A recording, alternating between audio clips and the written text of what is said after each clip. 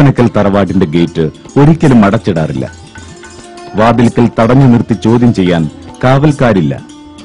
പാണക്കാട്ട് പ്രശ്നങ്ങളും പരാതികളുമായി ചെല്ലുന്നവർക്ക് ചെവി തരാൻ അവിടെ എപ്പോഴും ആളുണ്ടാവും. സമയാസമയം ആഹാരം ലഭിക്കും. മതപരമായോ രാഷ്ട്രീയമായോ വേർതിരിവുകളില്ല.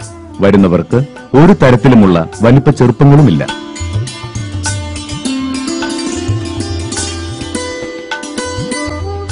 ആകാശവാണി കോഴിക്കോട്. വാർത്തകൾ വായിക്കുന്നത് ഗോപൻ. മുസ്ലിം ലീഗ് സംസ്ഥാന പ്രസിഡന്റും മുസ്ലിങ്ങളുടെ ആത്മീയ നേതാവുമായിരുന്ന ജനാബ് P M S A Pookoya Thangal അന്തരിച്ചു. ജനാസ നാളെ പാണക്കാട് പള്ളി കബ്രസ്ഥാനിൽ മറവ് ചെയ്യുമെന്ന് കുടുംബവൃത്തങ്ങൾ അറിയിച്ചു.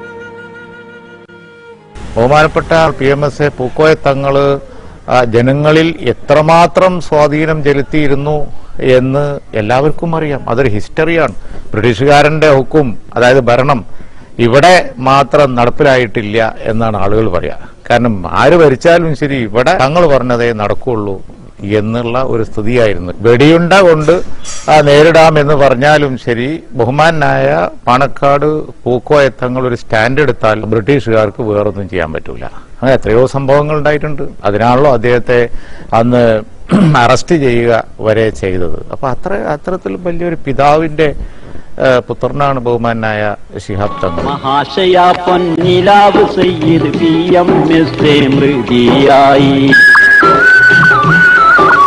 മഹാമനസ്കര വിരഹം നാട്ടിൽ അനന്ത ദുഃഖം പാടുകയായി.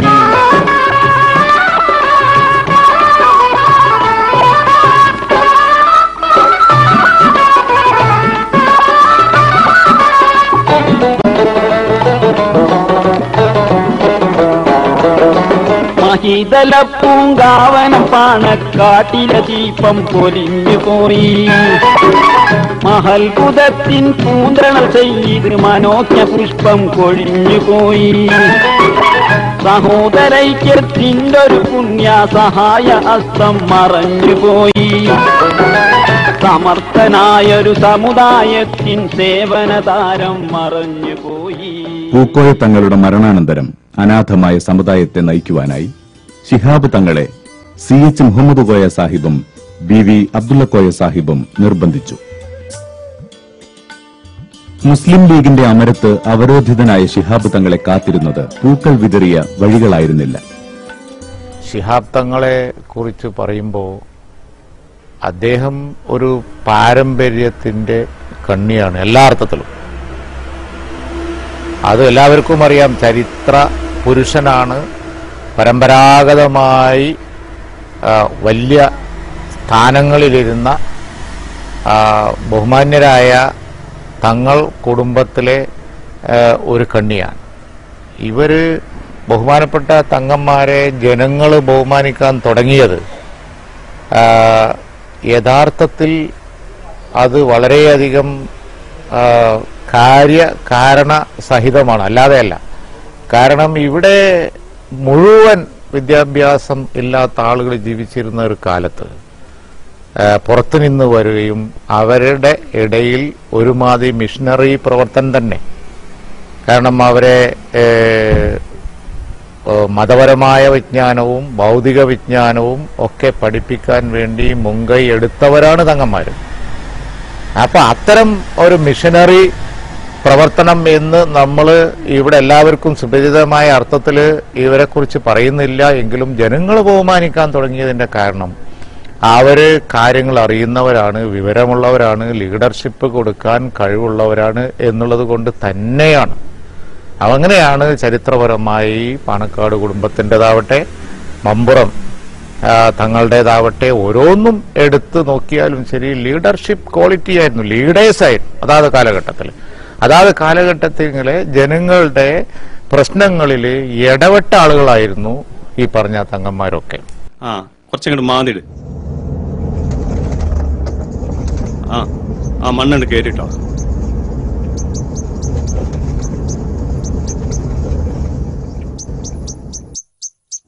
ആ അവിടെ തന്നെ. അസ്സലാമലൈക്കും വലൈക്കും അസ്സലാം പ്രസിഡന്റിന് ദുനിയാവിന്റെ കാര്യം നോക്കാനുണ്ട് എമ്പാടും. പിന്നെ ഇവിടെ ദീന്റെ കാര്യം നോക്കാൻ നേരം കിട്ടണേ. അല്ലേ കെട്ടറിയേ പള്ളിന്റെ ഏത് കാര്യത്തിനാ പിന്നെ കിട്ടാതായത്? നാലഞ്ച് കൊല്ലായ പത്മനാഭന്റെ തെങ്ങ് നമ്മളെ പള്ളിന്റെ മേലേക്ക് ചാഞ്ഞിക്കാൻ തുടങ്ങിയിട്ട്. നമ്മളെ പള്ളി ആണെങ്കിലോ അത് ഓടിട്ടതും. പള്ളി വാർപ്പാക്കാൻ കമ്മറ്റിന്റെ കയ്യിലുണ്ട് കാശ്? ഒന്നരാടം ഒന്നരാടം ഓലയും മണലും വീണിട്ട് ഓട് മുഹിമം പൊട്ടി. ഓടും പട്ടിയെ മാറ്റിട്ട് ഞാനാണ് അത് മറിക്കുകയും ചെയ്തത്. ആ പറമ്പിൽ ആകെ ആറേ തെങ്ങിൽ വെച്ച് ഏറെ തേങ്ങ കിട്ടുന്നത് ഈ പള്ളിന്റെ മേൽക്ക് ചാഞ്ഞ് തെങ്ങുമെന്നാണല്ലോ. പള്ളിക്കുളത്തിലെ വെള്ളം കുടിച്ച് തടിച്ച് കൊയ്ത്ത തെങ്ങിന്റെ തേങ്ങ. ഓനിഞ്ഞിപ്പോ അങ്ങനെ അരച്ച് കൂട്ടണ്ട. തെങ്ങ് ഞാൻ മുറിച്ചു മാറ്റും. ആ അത് വേണോ? നാട്ടിലൊരു കശപശക്ക് ഇടയാകൂലേ? അത് നേരാ. ഇതാപ്പുള്ള കുഴപ്പം. തിന്നൂല തീറ്റിക്കൂല എന്താ ഇവിടെ ബഹളം? എന്താ പ്രശ്നം? അത് മറ്റൊന്നല്ല സെമീറെ. നമ്മളെ പള്ളിന്റെ മുക്ക് ചാഞ്ഞെടുക്കണ തെങ്ങില്ലേ? അതിന്റെ പ്രശ്നം തന്നെ. ഓ അതോ? ഉമർക്ക. ഞാൻ ഇവളും തമ്മിൽ രണ്ടര വർഷം വിവാഹമോചന കേസ് സത്യത്തിൽ നിന്റെ വാപ്പയും നോർജുവിന്റെ വാപ്പയും തമ്മിലാണ് പ്രശ്നം. തർക്കം മുറുകിയപ്പോ കേസ് പാണക്കാട്ടിക്ക് വെച്ചിട്ടില്ലേ കഴിച്ചില്ലായത് എന്റെ വാപ്പയും നൂർജുന്റെ വാപ്പയും ഒരു തരുമ്പം പിടിവാശി വിടില്ല എന്ന് തങ്ങക്ക് മനസ്സിലായി. ഒടുക്കം എന്നെ നൂർജുനെ അകത്തേക്ക് വിളിച്ച്.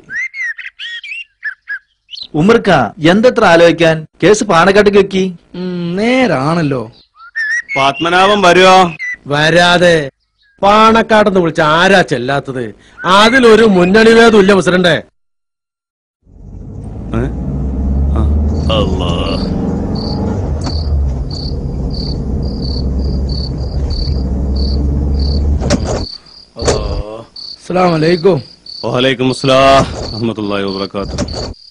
അല്ലാ സെക്രട്ടറി തങ്ങൾ എന്ത് പറഞ്ഞു? തെങ്ങ് മുറിക്കാനാവും. അല്ല. പിന്നെ പള്ളിയിലോടൊക്കെ പൊട്ടിക്കോട്ടെന്നോ?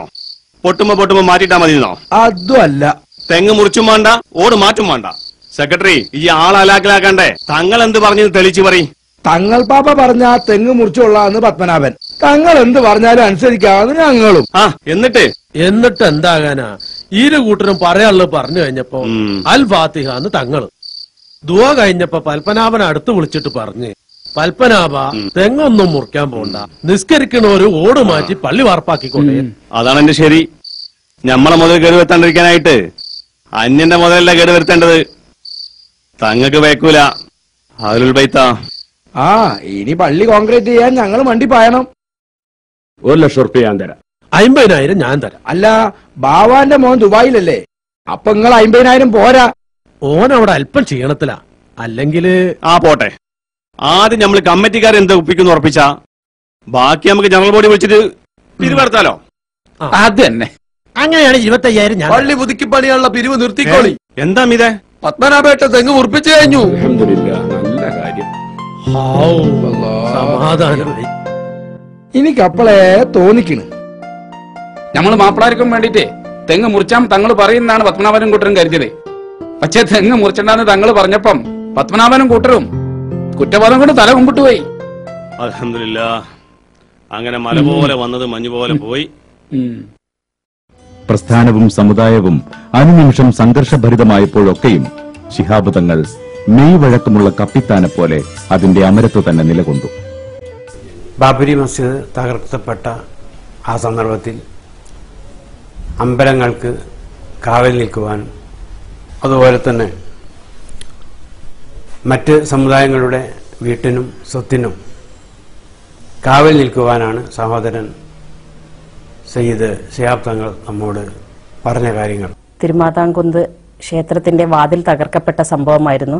അന്ന് ഏറ്റവും മുൻപന്തിയിൽ ഏറ്റവും വേഗത്തിൽ ആ അവിടെ എത്തിച്ചേരുകയും ആ വാതിൽ പുനർനിർമ്മാണത്തിന് വേണ്ടി ആദ്യമായി തങ്ങളുടെ കൈകൊണ്ട് കാണിക്ക നൽകുകയും ചെയ്തുകൊണ്ട് ഇവിടെയുള്ള സംഘർഷാവസ്ഥ മാറ്റി നിർത്തിക്കൊണ്ട് ഈ വാതിൽ പുനർനിർമ്മാണത്തിന് വേണ്ടി കൂട്ടായ പ്രവർത്തനം കാഴ്ചവെക്കാമെന്ന് പറയുകയുണ്ടായിരുന്നു. യഥാർത്ഥത്തിൽ അതൊക്കെ കേരളത്തിലെ എല്ലാ സമുദായക്കാരും മനസ്സിലാക്കിക്കൊണ്ട് നമ്മുടെ നാട്ടിൽ മതസൗഹാർദ്ദം ഊട്ടിയുറപ്പിക്കേണ്ടത് ബഹുമാനപ്പെട്ട തങ്ങളുടെ അനുയായികളൊക്കെ തന്നെ അതിനുവേണ്ടി ഇനി നിലകൊള്ളേണ്ടവരാണ്. കേരളത്തിൽ നമുക്ക് ആവശ്യവും ആ മതസൗഹാർദ്ദമാണ്. താനാളൂരിൽ വലിയൊരു സംഭവം നമുക്കറിയാം. താനാളൂരിൽ ക്ഷേത്രം അതിന് അത് കത്തുന്ന ഒരു സന്ദർഭത്തിൽ ആ പ്രദേശത്തേക്ക് ഓടിച്ചെന്ന് തളിയിൽ എന്ന പോലെ തന്നെ അവിടുത്തെ മുസ്ലിങ്ങളെ സംഘടിപ്പിച്ചുകൊണ്ട് അവിടുത്തെ പ്രധാനികളെ സംഘടിപ്പിച്ചുകൊണ്ട് അവിടെ ആ ക്ഷേത്രം നിർമ്മിക്കാൻ നേതൃത്വം കൊടുത്ത് കമ്മിറ്റി ഉണ്ടാക്കിയത് ബഹുമാനപ്പെട്ട തങ്ങളാണ്. മുസ്ലിം ലീഗിന്റെ സംസ്ഥാന സമിതി യോഗം ചേർന്നപ്പോൾ അധ്യക്ഷ സ്ഥാനത്ത് വൈസ് പ്രസിഡന്റായിരുന്ന എന്റെ പിതാവ് ബി വി അബ്ദുള്ള കോയായിരുന്നു ആ ചടങ്ങിലെ പ്രത്യേകമായി ആസൂത്രണം ചെയ്തിരുന്ന പ്രധാന പ്രാസംഗികൻ സി എച്ച് മുഹമ്മദ് കോയ സാഹിബായിരുന്നു. സി എച്ച് മുഹമ്മദ് കോയ സാഹിബ് അടുത്ത പിൻഗാമിയായി മുഹമ്മദ് അലി ശിഹാബ് തങ്ങൾ എന്ന പേര് ഉച്ചരിക്കുമ്പോൾ അധ്യക്ഷ സ്ഥാനത്ത് നിന്ന് ഞാൻ തന്നെ അതിനെ പിന്താകുന്നു എന്ന് എന്റെ പിതാവ് പറഞ്ഞപ്പോൾ അള്ളാഹു അക്ബർ എന്നുള്ള തക്ബീർ ധനികളോടെ ആ യോഗം അത് അംഗീകരിക്കുകയുണ്ടായിരുന്നു. ഈ നിർദ്ദേശം ശിഹാബ് തങ്ങളുടെ മുമ്പിലേക്ക് വെച്ചപ്പോൾ അദ്ദേഹം പൊട്ടിക്കരയാണ് ചെയ്തത്.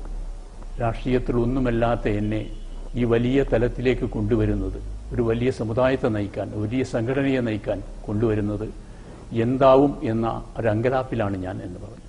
അപ്പോഴാണ് സി എച്ച് ഒമുദായ സാഹിബും അതുപോലെ എന്റെ പിതാവുമെല്ലാം തന്നെ തങ്ങളുടെ പിന്നിൽ ഞങ്ങളെല്ലാവരും ഉണ്ട് തങ്ങളൊന്നും ഭയപ്പെടേണ്ട എന്ന് പറഞ്ഞപ്പോൾ അദ്ദേഹം അത് സസന്തോഷം അംഗീകരിക്കുകയാണ് ഉണ്ടായത്. തങ്ങളുടെ ഏറ്റവും വലിയ മികവ് എല്ലാവരും ചൂണ്ടിക്കാണിച്ചതുപോലെ മതസൗഹാർദ്ദത്തിന്റെ ഒരു അപ്പോസ്തലനായി അദ്ദേഹം രംഗത്ത് വന്നു.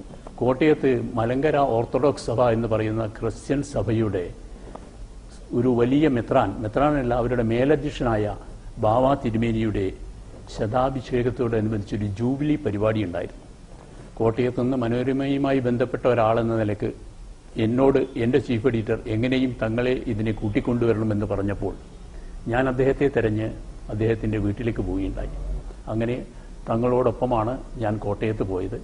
കോട്ടയത്ത് മനോരമ ഗസ്റ്റ് ഹൗസിൽ എത്തിയപ്പോൾ അന്ന് ഗവർണറായിരുന്ന ഡോക്ടർ പി സി അലക്സാണ്ടറും അവിടെ ഈ ചടങ്ങിൽ സംബന്ധിക്കാൻ എത്തിയിരുന്നു പി സി അലക്സാണ്ടറോടൊപ്പം ഇരുന്ന് സംസാരിക്കുന്നതിനിടയിൽ തങ്ങൾ എന്നെ വിളിച്ചു പറഞ്ഞു അബു ഞാനിവിടെ സംസാരിക്കാൻ വന്നിട്ടുള്ള ബാവ തിരുമേനിയെക്കുറിച്ച് എനിക്ക് വലിയ വിവരങ്ങളൊന്നുമില്ല.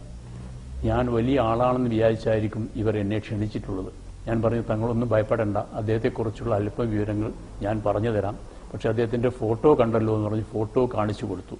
കണ്ടപ്പോൾ തങ്ങൾ ആ ഫോട്ടോ മനോഹരമായി നോക്കി ഇരിക്കുന്നവരുടെ ഞാൻ അല്പം സ്വാതന്ത്ര്യം എടുത്തു പറഞ്ഞു. തങ്ങളെ അദ്ദേഹത്തിന്റെ താടി തന്നെ നല്ല ഈമാനുള്ള താടി പോലെ ഉണ്ടല്ലോ എന്ന് പറഞ്ഞപ്പോൾ തങ്ങൾ ആ തമാശയിൽ പങ്കുചേർന്നതിന് ശേഷം പറഞ്ഞു ഞാൻ അദ്ദേഹത്തെക്കുറിച്ച് കുറച്ചൊന്ന് വായിച്ചു നോക്കട്ടെ. അങ്ങനെ വായിച്ചു നോക്കിയ ശേഷം ആ വലിയ സദസ്സിനെ അഭിമുഖിച്ച് തങ്ങൾ പ്രസംഗിച്ച പ്രസംഗം എല്ലാവരുടെയും ശ്രദ്ധയാകർഷിക്കുന്ന തരത്തിലായിരുന്നു. തങ്ങളെന്ന് പറഞ്ഞു ഹൈന്ദവ പ്രമാണത്തിൽ വസുദേവ കുടുംബകം എന്ന് നമ്മൾ അറിയുന്നു. എല്ലാ മനുഷ്യരും ഒന്നാണെന്ന നില. ഇത് തന്നെയാണ് നമ്മൾ ഏത് മതക്കാരായാലും അംഗീകരിക്കേണ്ട തത്വം. അദ്ദേഹം പറഞ്ഞു അയൽക്കാരൻ പട്ടിണി കിടക്കുമ്പോൾ വയറ് നിറച്ചുണ്ണുന്നവൻ നമ്മുടെ കൂട്ടത്തിൽ പെട്ടവനല്ല എന്ന് നമ്മുടെ നിവി തിരുമേനി ആഹ്വാനം ചെയ്തിട്ടുണ്ട്. അതുപോലെ തന്നെ ബൈബിളിൽ പറഞ്ഞിട്ടുണ്ട് നിന്നെ പോലെ നിന്റെ അയൽവാസിയെയും സ്നേഹിക്കുവായും ഇവിടെയൊക്കെയും മതക്കാരായിരിക്കണം എന്റെ മതക്കാരായിരിക്കണം നമ്മൾ ഈ പങ്കുവെക്കേണ്ടത് എന്ന് പറയുന്നില്ല. അതുകൊണ്ട് തന്നെ നമ്മുടെ എല്ലാ മനുഷ്യരിലും ഓടുന്നത് ഒരേ രക്തമാണ് എന്ന് മനസ്സിലാക്കിക്കൊണ്ട് സൗഹൃദം പാലിക്കണം എന്നൊരു വലിയ സന്ദേശമാണ് തങ്ങൾ അവിടെ നൽകിയത്. ഒരു കൊടുങ്കാറ്റിനും തകർത്തെറിയാനാവാത്ത വിധം കേരള മുസൽമാന്മാരെ സുരക്ഷിതരും ലക്ഷ്യബോധമുള്ളവരുമാണെന്ന വിധത്തിലേക്ക് അദ്ദേഹം തുഴഞ്ഞെത്തിച്ചു.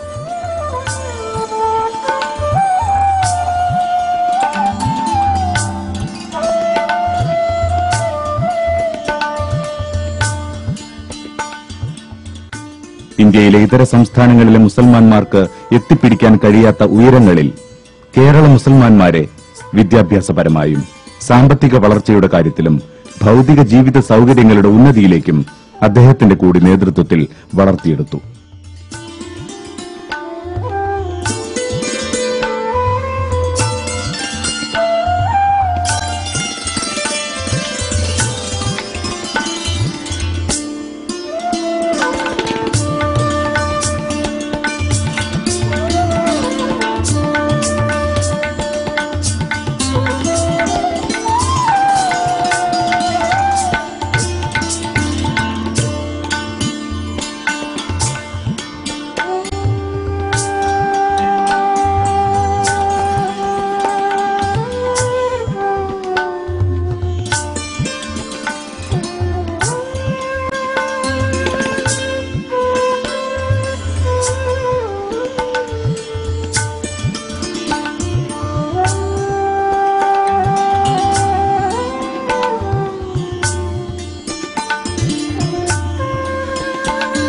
ഇന്ത്യ ബഹുസ്വരതയ്ക്ക് പേരുകേട്ട രാജ്യമാണ്. മതം സമുദായം ഭാഷ സംസ്കാരം എന്നിത്യാദി കാര്യങ്ങളിലൊക്കെ വൈവിധ്യം പുലർത്തുന്ന ഇന്ത്യയെ പോലുള്ള ഒരു രാജ്യത്ത് വിവിധങ്ങളായിട്ടുള്ള ജനസഞ്ചയങ്ങൾക്കിടയിൽ ജനപഥങ്ങൾക്കിടയിൽ സൗഹൃദത്തിന്റെ ഐക്യത്തിന്റെ ഒരു